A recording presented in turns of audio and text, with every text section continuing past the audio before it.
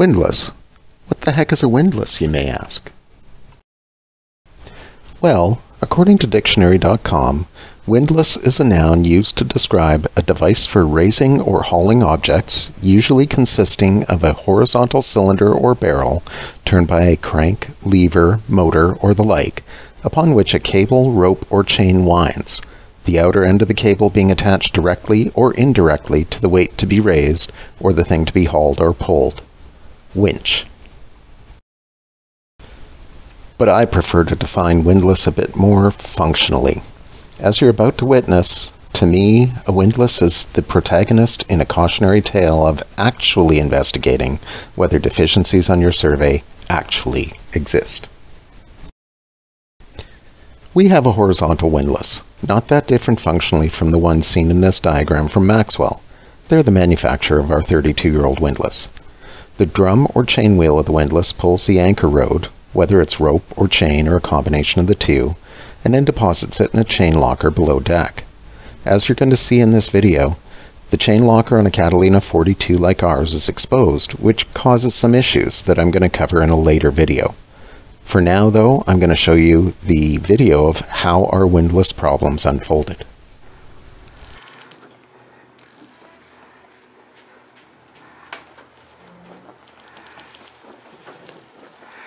Okay, so today I'm going to be addressing a problem we had identified on our survey that turned out to not be a problem at all.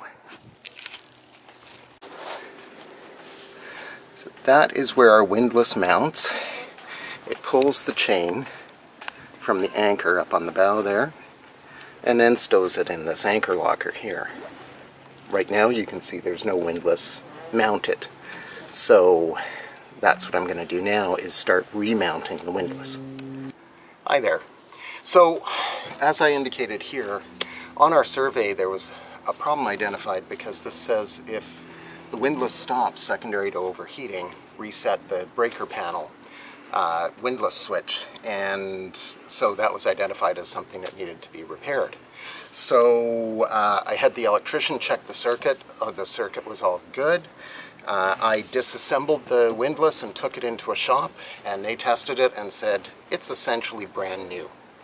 So what we've come to the conclusion of is that this is an old sign. It should have been painted over, covered, something like that. So now I get to reinstall the windlass. So step one today is for me to put this base plate in here. Um, it looks a little old and uh, worn, but it, it all tests out fine. So I could just attach it to the hull here, but that's going to be a problem because then water can get in behind here, work its way in here, and cause problems. So what I'm going to do instead is I'm going to use Sikaflex. Yay! And apply a bead of Sikaflex around the this part of the base plate, around this part of the base plate, so that then when I put it on here, it will be well sealed against the elements. Before I do that though, I want to clean this fiberglass. I have some isopropyl alcohol to clean off any oil or anything like that that might prevent the Sikaflex from bonding. Uh, and then I want to mask off the area around this base plate so that the Sikaflex doesn't bubble up and form residue on the fiberglass that looks ugly. That's just for aesthetics.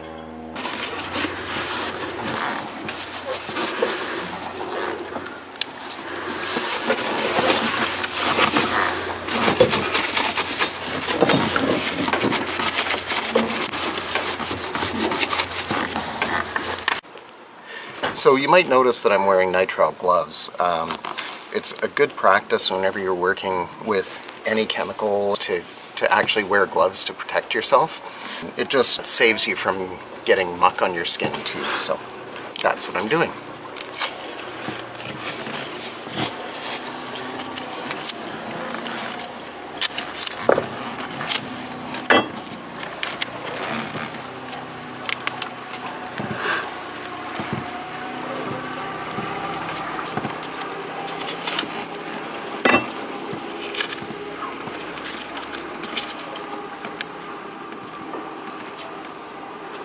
All right, so my gloves are off because my hands are sweating.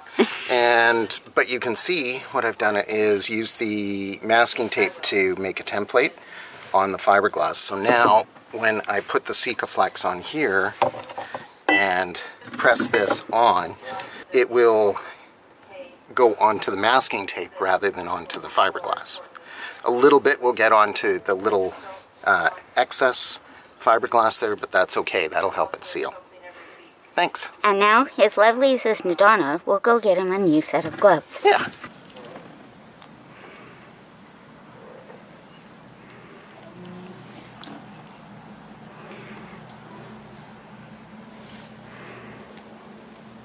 This is how a pharmacist X does Sikaflex. oh, I'm sure there's many, many craftsmen out there who might see this and go, oh, that's not the right way to do it. But this is why I have masked off the hull. Right. Now, if there is a small gap, which there is facing me, is that a problem? No, because it'll squish together. Well, it'll squish together. I'll also come back and look and okay. address any issues like that after. Okay. Oh, good, Shelley. How are you? Kind of a big way, but... Okay. Have a good night. Bye-bye. A gap here? Yeah, just very teeny tiny. And this is how a video videoing pharmacist assists our children, our poor children, never oh, had a chance. You'll notice I have some paper towel here to wipe up any spills that I might make while the Sikaflex is still soft and workable. Because he's smart. There we go. So that is as much as I want to get out of this particular thing of Sikaflex. So now we will mount this in here.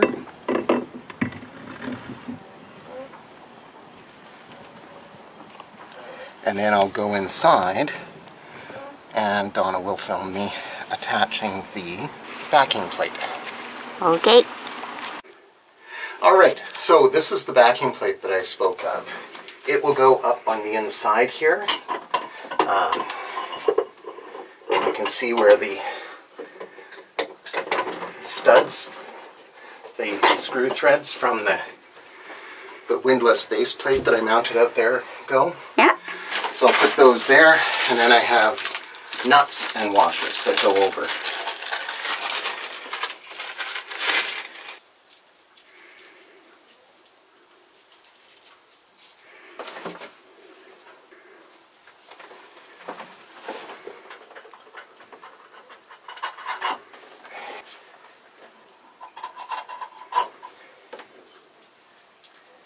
lost one of the split locking washers, so I'm going to have to do a little search here for that.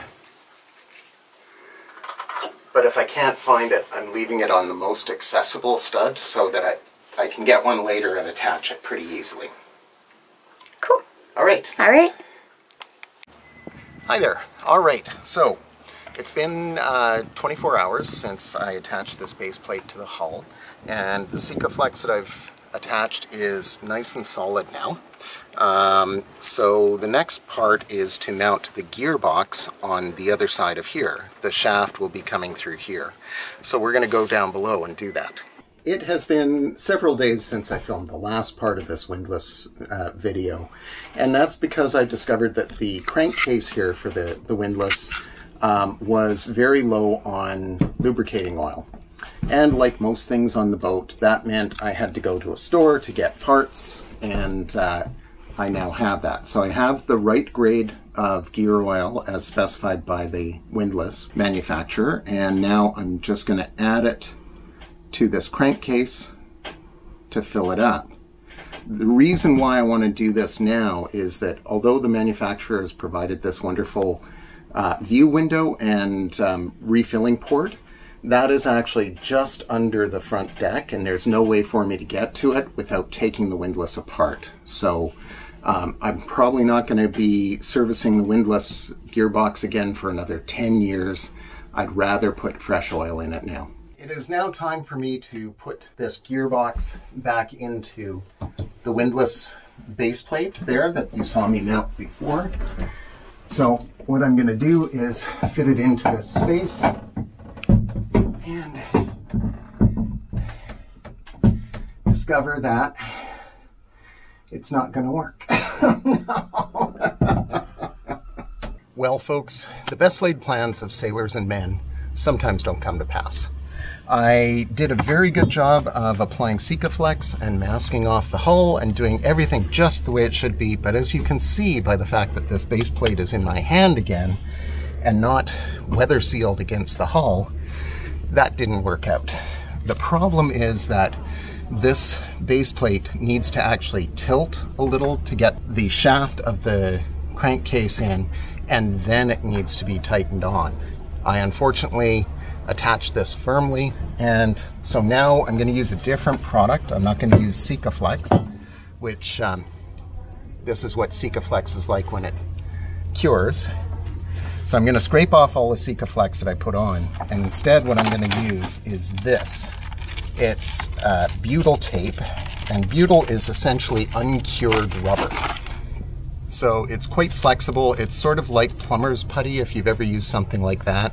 What I'll do is I'll put a bead of butyl around the outside of this, around the, the gap here, and around the bolts, and then I'll attach the crankcase. That's the next scene you're gonna see. I've now cleaned the base plate with Donna's help, and now I'm going to apply a bead of this butyl tape around the, the edge. It uh, is quite soft and pliable, and so it will squish in to fill in the space between the base plate and the hull and provide a weather seal as, as a result. It's generally a good idea to use more than you need um, because it's not very expensive and rather than getting a gap where you're going to get a leak um, it's better to have a little extra butyl that's going to seal. So I'll just keep doing this and then I'll film another scene. I'm going to be wildly optimistic and start putting the nuts onto the shaft here uh, I have to get them on a certain amount before I put the gearbox on so hopefully it's going to work out so if you see here, I'm going to try and point out, there's this part of the hull that the gearbox was hanging up on. So I've now managed to tilt it a little bit. You can see that the shaft is not quite horizontal. So now I can tighten up those bolts now that I've got the uh, crankcase on and then I can put the nuts in from the, or sorry, the bolts in from the other side of the base plate that will hold the gearbox on. Uh, crankcase on, and then I can put the nuts in from the, or sorry, the bolts in from the other side of the base plate that will hold the gearbox on. If you zoom in here, Donna, you can see what's happened. I put, as I mentioned, quite a bit of butyl, but it's just squeezed out of the, the seams, kind of like Play-Doh trademark. and now I can just peel it out and I have a good seal of it around the base.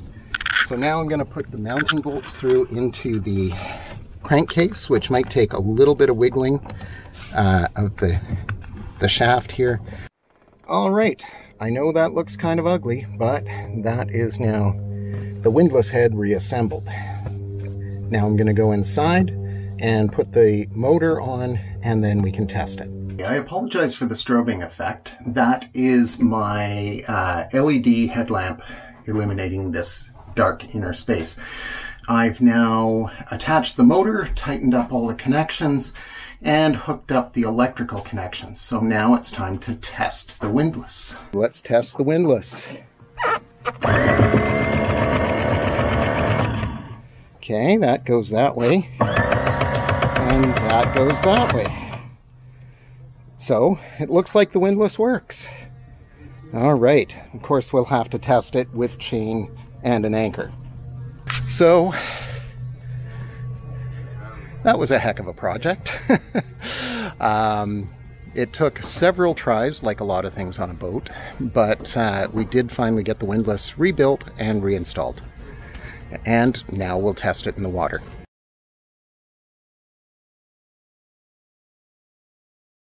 It's another warm day here on board Intention, and uh, I know I said I was going to show you the test that we did in the water with the anchor. I didn't film it, and I'm glad I didn't because it saves you hearing me swear a lot. Let me show you what happened. First thing I'm going to do is turn on the power to the windlass at the panel here. You notice the orange light shows that there's now power to the windlass forward. We're at the dock here at Canoe Cove, and I'm going to demonstrate what's happening with the windlass uh, and specifically with the anchor chain at the dock here just because it's easier.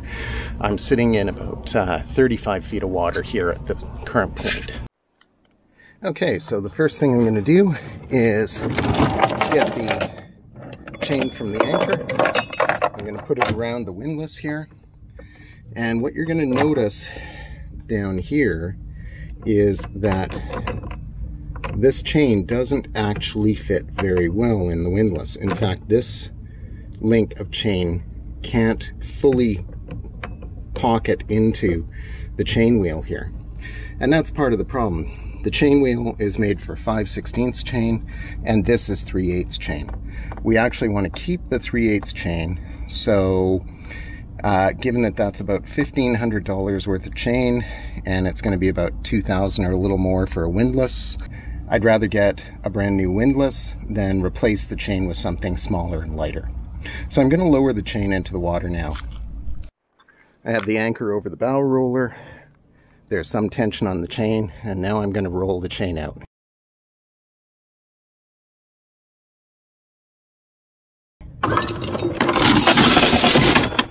and you can see what happened immediately. The chain jumped out of the chain wheel and fell onto this pulley here and fortunately jammed up before the anchor went too far into the water. So what I'm going to do now is put the chain onto the chain wheel and try and retrieve it. Okay, so the chain is on the chain wheel again and I'm going to retrieve. But as you can see, it's just slipping. and partly it's because I can't tighten up the clutch cones nearly enough. Let's see. There we go. So it does retrieve a little bit, but then it slips. So I'm going to wrangle this back onto the boat, and then I'm going to take this windlass out. So that's our cautionary tale. If we had checked the windlass operation at first, we would have immediately discovered a problem. That could have quickly identified that the size of the chain didn't match the size of the chain wheel on our aging windlass, and we could have done exactly what I've just done, order a new windlass. But this video is already getting pretty long, so I'm going to save the installation of the new windlass for another time. Thanks as always for joining us. It may not always be sailing here on Sailing with Intention, but it's always boat life.